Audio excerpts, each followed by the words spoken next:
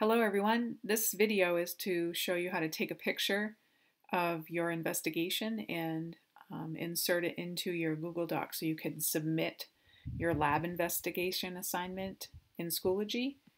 So here you are in Schoology, you're working on your investigation and now it's time for you to submit it. So ideally you want to open up this document and um, drag your picture of your investigation in there so you can then submit your work. So I'm going to open up the document and make it bigger. And then I'm going to open up Photo Booth.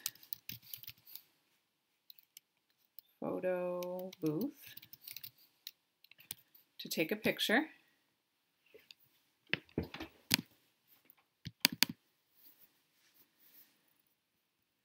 So here's Photo Booth. I can take a picture of my investigation with it, which I've already done. So all I did was I held up my investigation and then I took a picture of it. And then down here, I have the picture. There it is. So I want to post this in my Google Doc, but I want to crop it first. So I'm going to drag it onto my desktop. Which I already did. Here it is right here. Oops.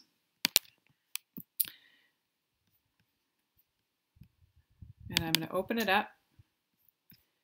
And I am going to make it bigger, hit the crop button, and crop it.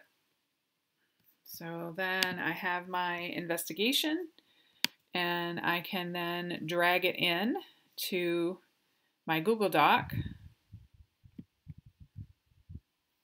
I'm going to undo that. Drag it into my Google Doc, and then I can resize it, make it nice and big for Ms. Drummond to see. When I'm all done with that, I'm going to go up here and I'm going to, I'm now I'm going to have a submit button um, up here, usually, right above my document.